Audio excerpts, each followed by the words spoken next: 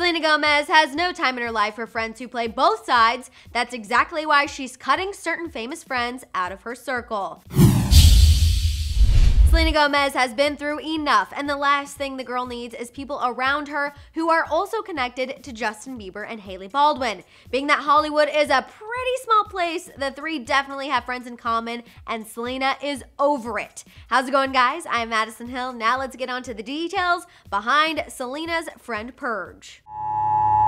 This is not a test. This is your emergency broadcast system announcing the commencement of the annual purge. With the status of Justin Bieber and Hailey Baldwin's marriage changing by the minute, all eyes are on Selena to see how she's doing, feeling, reacting, all of the above. Although Selena might be over her relationship with the Biebs, that doesn't necessarily mean that she wants any reminders of him and Hailey hanging around her on a day-to-day basis, which is exactly why she's ditching those she can't trust. A source told Radar Online, quote, Selena just wants to live a quiet life life these days. She's over the whole LA scene and the fake people that come with it. The source went on to say that Selena is sticking to her word on this one. She has reportedly deleted several numbers from her phone and only hangs out with those she can trust. I will say Selena's list of trustworthy people sounds pretty slim as the source said that Selena only wants to spend time with her family and quote people she has known since she was a kid. Based on her Instagram activity recently, I'd say the source is spot on.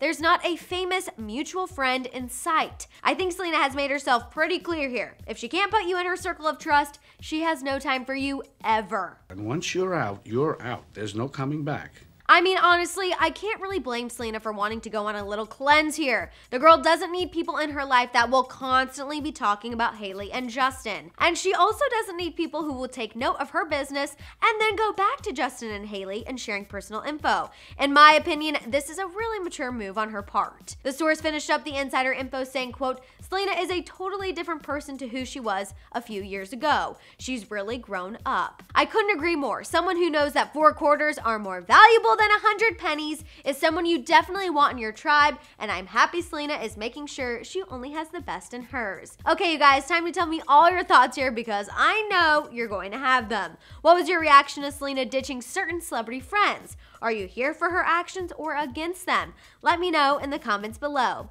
For more on Selena, check out our story on her describing her relationship with the Biebs as toxic. And for more entertainment news, subscribe now.